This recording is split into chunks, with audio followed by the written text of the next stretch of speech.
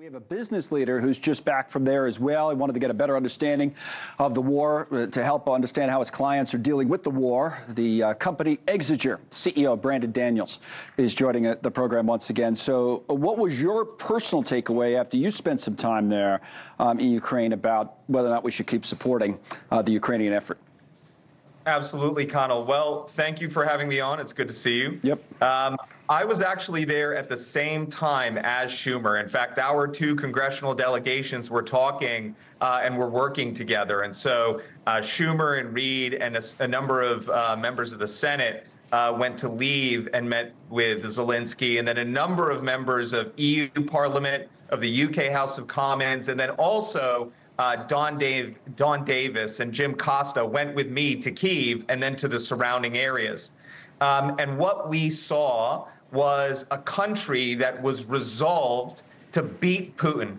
And the other thing that we heard loud and clear as we met with uh, members of uh, Parliament from the UK, EU, and other uh, US uh, allied countries mm-hmm. was that this is a critical fight for uh, Ukraine to win, not just because Ukraine is an ally, but right. because Putin is an adversary, right? Hmm. We heard directly from the sort of global community that this is a challenge uh, to Western ideals, to uh, the global free market that the United States establishes. You know, you've heard a lot about sort of the currency war and the growth of the global south, sort of creating alternative currencies to the dollar. Well, this challenge that uh, Russia has launched against Ukraine is a proxy war against U.S.'s economic and diplomatic diplomatic power throughout the world. Here's Make the real no question, Brandon, on that type of yeah. a proxy war, right? Is that if the U.S. is going to support it, if it's going to be in the interest of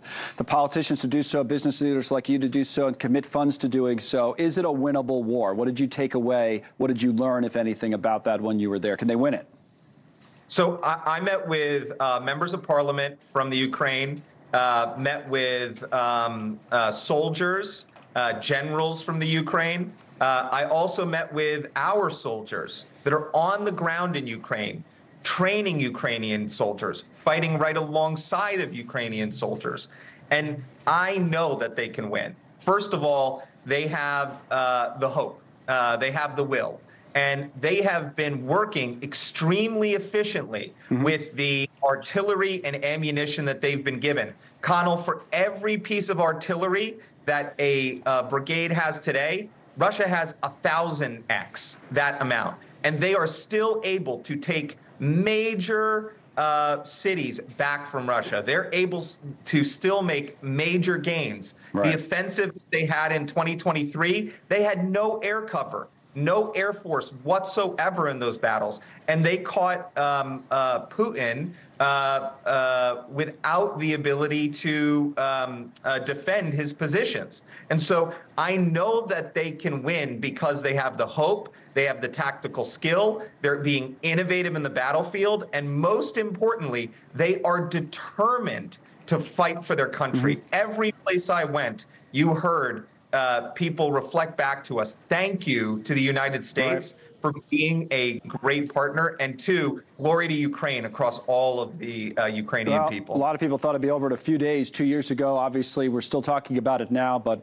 um, they're going to need the funding if they want to continue, which is what they were talking about at the White House today, among other things. Thank you, Brandon, for sharing your experience with us. Brandon Daniels from the company Exiger, just back from Ukraine.